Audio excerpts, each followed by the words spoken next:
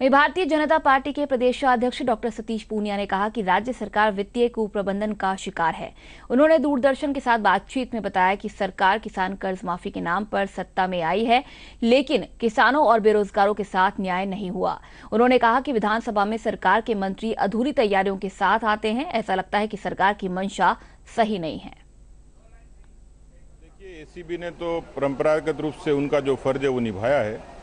लेकिन सरकार ज़रूर इल्ज़ाम से बचने की कोशिश कर रही है। परिवहन विभाग में जो एसीबी का घोटाला हुआ, निश्चित रूप से वो चिंताजनक है और उसकी तय तक जाना चाहिए और निश्चित रूप से सरकार में यदि नैतिकता है तो सरकार को उस पूरे मामले का ठीक से खुलासा करके जनता के सामने अपने आप के पारदर्शी होने का प्रमाण देना चाहिए। ये भी आशास्पद है कि मंत्री खुद भ्रष्ट अफसरों को बचाने की कोशिश कर रहा है तो निश्चित रूप से ये तकलीफ़ दे बात है कि उनको निरपेक्ष तरीके से आगे आना चाहिए।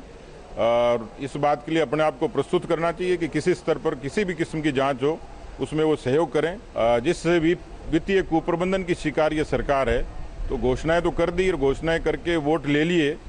मसलन कर्जा माफ़ी के मामले में हो सकता है कि बहुत लोगों ने कर्जा माफ़ी के उस इम्प्रेशन में वोट दिया हो, लेकिन कर्जा माफ़ी हुई नहीं तो आज किसान ठगा हुआ है। बेरोजगारों को रोज़गार की और बेरोजगारी भत्ते की बात की, वो ठगा हुआ है।